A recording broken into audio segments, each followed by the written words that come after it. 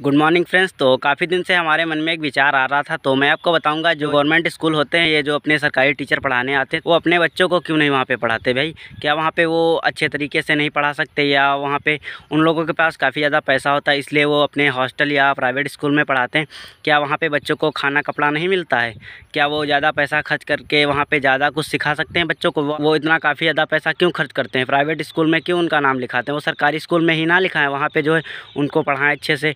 तो क्या वो पढ़ नहीं सकते? कहते हैं ना कि मतलब सरकारी स्कूलों में जो है पढ़ाई नहीं होती। टीचर लोग कहते हैं, मैं बहुत अच्छे से पढ़ाता हूँ और ये जो है बच्चे नहीं आते। तो उन टीचरों से मेरा यही क्वेश्चन है कि वो आप लोग अगर पढ़ाते हो तो अपने बच्चे का क्यों नहीं एडमिशन कराते हो सरकारी स्कूल में? आप लोग जो है सरकारी स्कूल में ना करा के जो एक अच्छे खासे प्राइवेट स्कूल में काफ़ी ज़्यादा से ज़्यादा मोटा पैसा दे के वहाँ पर आप एडमिशन कराते हो, वहाँ पर उनको पढ़ाते हो।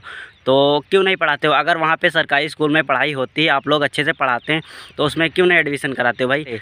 तो ऐसा कुछ मैं कह सकता हूँ। हालाँकि वैसे तो मैंने अपने आँखों से भी देखा है कि टीचर ने जो है सरकारी टीचर जो होते हैं हालाँकि सभी नहीं होते हैं मैं टीचरों को देखा जो कि अनर्गल भाषा और अराजकता करते हैं बच्चों के साथ जो है गलत बोलते हैं तो प्लीज़ अपनी जो लैंग्वेज सही से बोला करो। दूसरे का बच्चा भी आपके बच्चे के जैसा है क्योंकि अगर उसके साथ अनर्गल भाषा या अराजकता करोगे तो वो उसी तरीके से जो है सीख पाएगा। तो इसलिए जो प्लीज़ सही से बोला करो, क्योंकि मैं अपने आँखों से मैंने देखा जो टीचर ये करते हैं, उन टीचरों से मेरा यही निवेदन है प्लीज़ बच्चों से सही बोलोगे तो उन्हें मोटिवेशन मिलेगा और अच्छी खासी जो है आगे से वो अपनी जो है तरक्की कर सकते हैं। तो मैं इस बात से एग्री हूँ कि सरकारी टीचर्स कहते हैं, मैं अपने स्कूल में बच्चों को पढ़ाता हूँ। अगर आप लोग वाकई में पढ़ाते हैं तो अपने बच्चे को क्यों नहीं लाते? चलो बेटा, मैं वहाँ पर पढ़ाऊँगा आपको और सारे जो बच्चे और भी होंगे तो आप लोग ऐसा क्यों नहीं करते? वहाँ पर जो है मोटिवेट होंगे कि भाई, एक टीचर जो है अपने बच्चे को भी लाता है वहाँ पर सरकारी स्कूल में पढ़ाने के लिए। लेकिन लगभग नब्बे परसेंट जो है टीचर जो है प्राइवेट स्कूल में जो है अपने बच्चे का जो है दाखिला करवाते हैं एडमिशन करवाते हैं। और आप एक टीचर हैं आपको जो है सरकार पूरी फैसिलिटी बढ़िया अच्छे से देती है तो आप अपने बच्चे को क्यों नहीं लाते भाई? अपने बच्चे को दूर भेजते हैं इंग्लिश मीडियम स्कूल में पढ़ाते हैं। हालाँकि ये किसी भी टीचर का अपमान करने के लिए नहीं बनाया गया। मेरे मन में विचार आ रहा था तो मैंने जो वीडियो बनाई या किसी भी टीचर को ठेस पहुँचाना या किसी भी टीचर को अपमान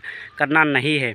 आप जो है गलत पैसा मत इन्वेस्टमेंट करिए क्योंकि भाई आप जो है प्राइवेट स्कूल में अपने बच्चे का नाम लिखाएँगे वहाँ पे जो अच्छा खासा मोटा पैसा पड़ता है।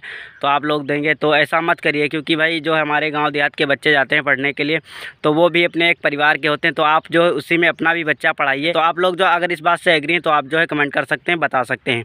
अगर इस वीडियो से किसी भी टीचर को बुरा लगा हो तो उसके लिए भाई दिल से सॉरी मेरे जो है मन में विचार आया तो मैंने जो है बोल दिया। तो आप लोग जो है, वैसे तो हालाँकि मेरी बात से अगर आप एग्री हैं तो कमेंट कर सकते हैं, बता सकते हैं। Thank you